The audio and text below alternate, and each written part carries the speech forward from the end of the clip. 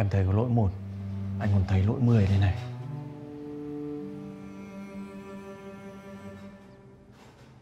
Cái nhà này ai chả thế. Cứ coi cái son như là đứa giúp việc không công ấy. Tối nay con sẽ ngủ với mẹ. Con sẽ bảo vệ mẹ. Cả heo đừng khóc nữa. Sẽ làm mẹ buồn thêm đấy. Em cũng đừng lo lắng quá. Sẽ không có chuyện gì xấu xảy ra đâu. Bác Tố tín ăn xong chở cá heo đi học giúp mẹ nó nhá. Biết rồi. Ơ mẹ sao đấy? Mẹ không sao, chào anh rồi đây. Chị Son phải quen dần với chuyện này đi ạ. Cả nhà ai cũng lo lắng cho chị đấy. Từ trước đến nay việc gì cũng đến tay chị rồi. Nên là bây giờ chị phải để cho mọi người chuộc lỗi nhá. Nếu mà bị ốm mà được cả nhà chăm sóc như thế này thì con chỉ muốn ốm mãi thôi. Ờ, Chị cứ nói lên thuyền Anh Danh ơi lên ăn sáng đi kìa Em nếm thử xem có vừa miệng không Có ăn sáng Đây anh ơi Thôi, cả nhà ăn đi ăn đi. Rồi.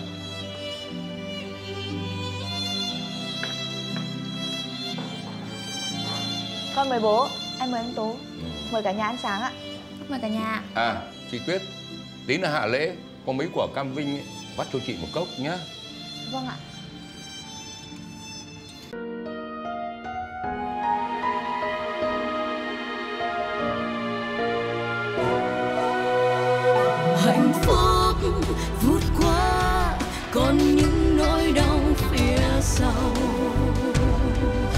một chút.